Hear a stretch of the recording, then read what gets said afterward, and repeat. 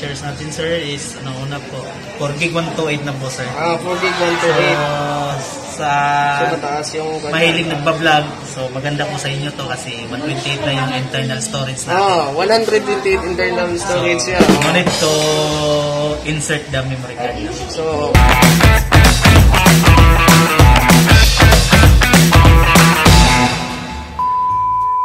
Andito po tayo ngayon sa ah, SM Store. So, maghahanap tayo ngayon ng ating ah, ah, cellphone. Yan. Yan yung ating kaibigan na si JC Ellis. Yan. Yung ating mag-entertain sa atin ngayon. Ito po yung napili ko. Ito. Y30. So, yan. Box po natin yan. So, tingnan Y30. Ito yung nirecommend niya sa akin. Itong Y30. So, siguro, okay naman siguro itong ating Y30. So, i-unbox po natin to mga kainatay ngayon. So, i-explain po sa atin ni Sir GC. Ayan. Kung ano po yung magandang features nito at saka yung advantages nito sa sa cellphone na yung low end na po. Ayan. So, start na po natin. Unbox natin. Unbox na po natin to.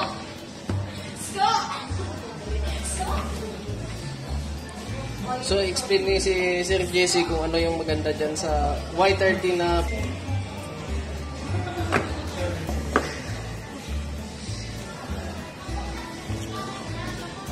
So, ayan. So, may kasama siyang Delicate. jelly case. Ayan, jelly case. May jelly case siya, ayan. At saka yung... Oh, sige, ikaw Open na natin. sir. So, i-open natin. Yan, sir. Ayan. I-open natin yung... Ayan. So, Vivo po. Ah, yung ginagamit natin ngayon, Vivo. ah, Vivo Loyalist po tayo. So, yan yung back niya. So, mapapansin nyo, maganda yung back niya kasi naka-glass na po siya. So, hindi siya yung... Uh, 3D po siya, hindi po siya yung plastic. Ayan. So, kaya magandang feature po yan ng isang cellphone. Ayan.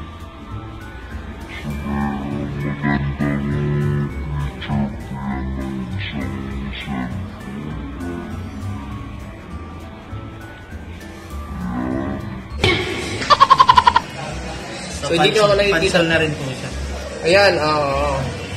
Maganda maganda din yung design ng ng cellphone. At the same time, ah ano ba yung maganda dito? So, sa pictures natin, sir, is, ano una po, 4 gig 128 na po, sir. Ah, 4 gig So, 128. sa So, mataas yung... mahilig nagba-vlog, so maganda po sa inyo to kasi 128 na yung internal storage natin. Ah, 128 internal storage siya. No Oh. need to insert the memory card. na. So, kahit hindi na... Yung camera natin, ito po. Yung camera niya is, so far is clear. Ayan. So, sa front natin, ito naman. So, yung front niya, ayan. Ayan. Ayan, napakaganda tingnan niya pa. So, maganda siya. So- So, pwede natin full screen po, ma'am, sir. Ayan, i-full screen daw. Ayan. Yun yung full screen niya, maganda yan. So yan yung magandang features ng At saka yung meron siyang sa photo natin, meron siyang tinatawag na super wide angle sa back. super ito. wide angle. Ito po. So two times super wide. Oo. And then na siya ultra. Ito, super macro lens. Ah, Bokeh super macro lens, ayan. Super macro lens, so makikita niyo ba yan? Tapos, So ano bang purpose ng super macro lens niya? sa purpose po nun, sir, ganito po, sir. For documentary po, sir, gagamitin Documentary, natin. so ayan. So, lahat na, halimbawa, mahi, malabo yung mata. So, halimbawa, ididiin nyo yung camera natin. So maging CK or blurred siya, no? Or silky na siya talaga. Opo, sir. So kung gamitan natin Ayan ng siya. macro lens, ayan. So, kung gamitan natin yung super macro lens, ito po. So, mag- So, maganda po magpo-focus siya. Ayan. Ayan. Oh, So, nag, siya. nagpo-focus siya. So, makikita mo talaga yung pinipicturean mo. Or halimbawa, may mga documents ka na picturean. So, mas maganda to kasi Details. ah, naka-details po talaga yung mismong picturean po natin. So, hindi siya blurred eh. So, usually, pag may ibang cellphone na mga low-end is mag, mag-blurred po siya. So, ito okay din po yung camera. Ayan. So, ano pa?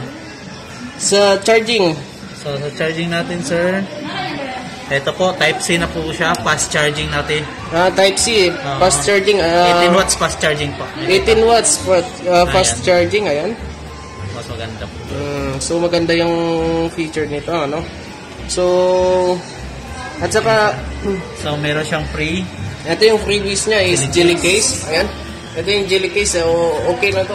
Pang protection lang to kahit konti. Ito sir, tatry natin charger. So charger, iti try ito. Ayan. Ganda yung charger So mag-unbox tayo ng oo. So, try natin yung charger, sir. Ah, so ayan. So, ayan yung charge. Natin yung charger, sir. So, i-charge niya kung gumagana ba, baka mamaya sira yan. Uy, sira. Ay, gumagana. So ito, ah, gumagana. So ilang minuto pa, ah, ilang ah, Ito oras sir, pa so i-charge? nasa 5,000 na yung kan natin, yung milliampere. So ilang oras siya So far, i-charge? mga 1 hour mahigit po sir. One hour siya i-charge. mahigit to. Mm. Sana mahigit. So, pag first na charge is pi- ilang... Ay, wala naman siyang initial charging.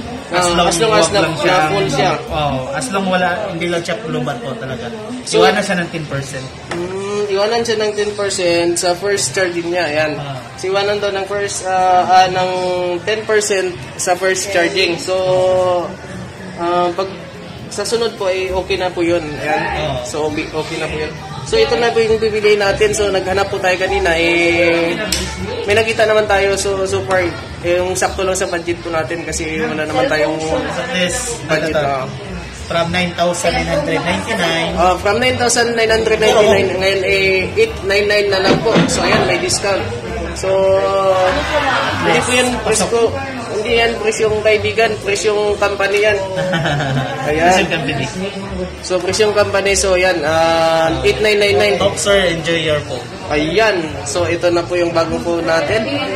So sana'y makatulong to. Yes sir. Sana'y makatulong. So Thank you po sir sa pag sa amin sir. Oo. Ibabalik na natin yan dyan at nang... So, dadalahin natin sa bahay na yan kasi babayaran na natin. So, magbabayad na ako. See you. Bye.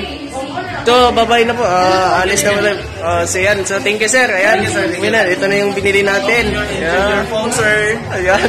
So, shout out. Thank you, sir. Okay. So, uwi na po tayo. Ito na po yung phone natin na bago. Ayan. So, uwi na po tayo. So, tapos na po tayong bumili. Ito na po yun.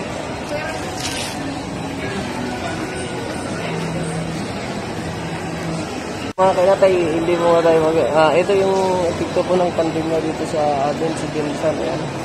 Wala masyadong tao. Yung iba takot mag-gala. ayan. Ah, gala, ayan. So tayo, kasi may bibilin tayo. So, okay lang, ayan. So, tingnan mo po. Hindi gaanong matao. Ayan.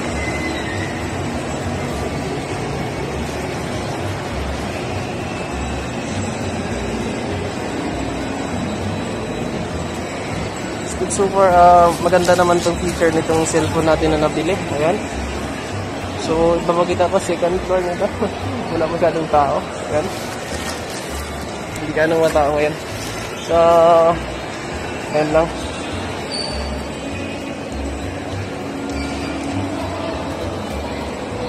So, before na work ko tayo dito sa SM, ah, so hindi po nakakaalam.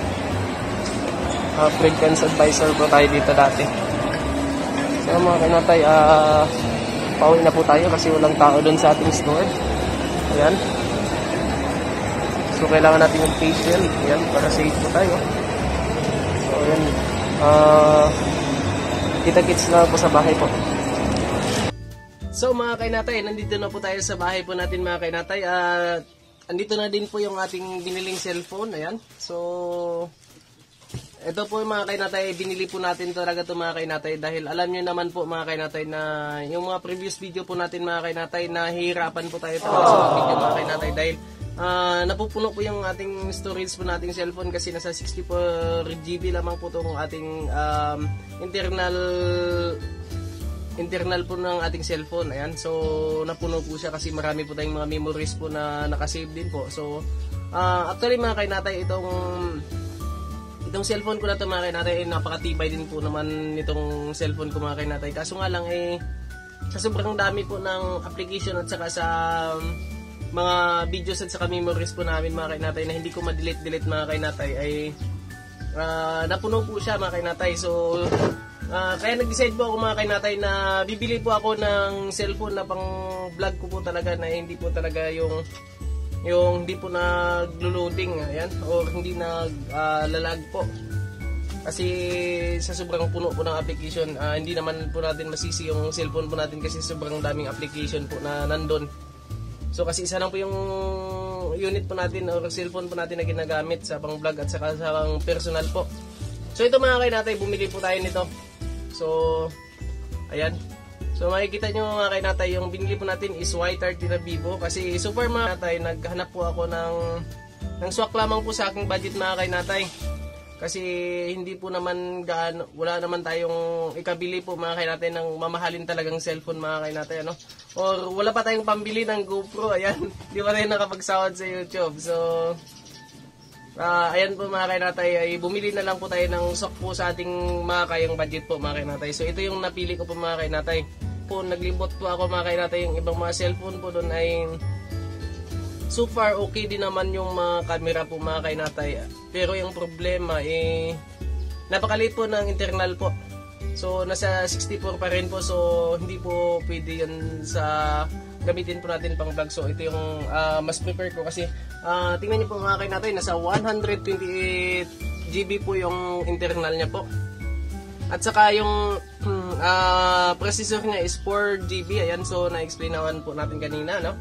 Sa ating demo po na ating kaibigan. Ayan, eh, so far eh, doon po talaga ako nabi- nabili sa kanya. So mga kayo natin, ah, ito mga kainatay, eh, kinuha ko din po ito mga kainatay kasi yung yung ah, screen nito, eh, nito is medyo malaki, 6.47, ayan.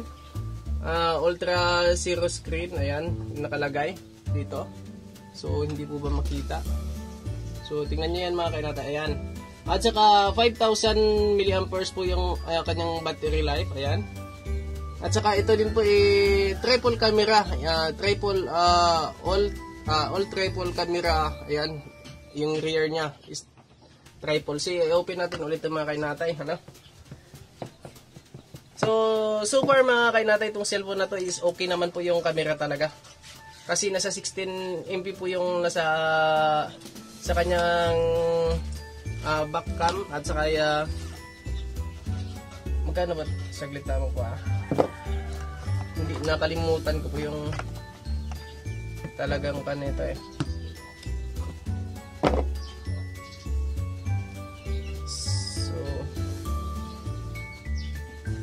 Nakalagay dito. So yun mga kainatay. so far okay naman yung camera. So i-open natin to mga kainatay. Ito yung cellphone natin ano. Ito yung bago nating cellphone. So so far is okay naman po siya. Yung camera niya po. So ipapakita ko po sa inyo. Ah, katulad nga ng sinabi ng demo po kanina mga kainatay ay yung camera po nito ay ah, napaka-clear at saka madaming purpose itong ito nga yung special ah, feature po niya yung itong ah, lens niya yan. So pag halimbawang may ito po talaga experience ko po ay capturing po ng mga ng mga documents po is napakahirap po nito. So ito is meron na siyang lens, pwede mo siyang i-focus yung yung pipicturan mo at nang hindi po siya matawag nito ah blurred yung kuha mo sa yung ah, ay, mong, ay yung pinipicturan po na documents. So ito napa, napaka useful po nito. Ayan. At saka dito mga mga kainatay eh, maganda naman po yung kanyang ah, video po. Yung video niya po ay napakaganda din po nung kuha. Ayan tingnan niyo po mga kainatay ano? Ayan So, malinaw po. Yan, napakalinaw po ng video po nito. So, okay okay po, swak na swak to sa ating kailangan. So mga kainatay, ah, naghahanap po yan sa na um, nagsisimulang mag-vlog po mga kainatay. Ah, pag wala po po tayong budget po mga kainatay sa mga mahaling mga gamit po mga kainatay, so far is okay naman po. May recommend ko po to sa inyo itong Vivo Y30. Yan.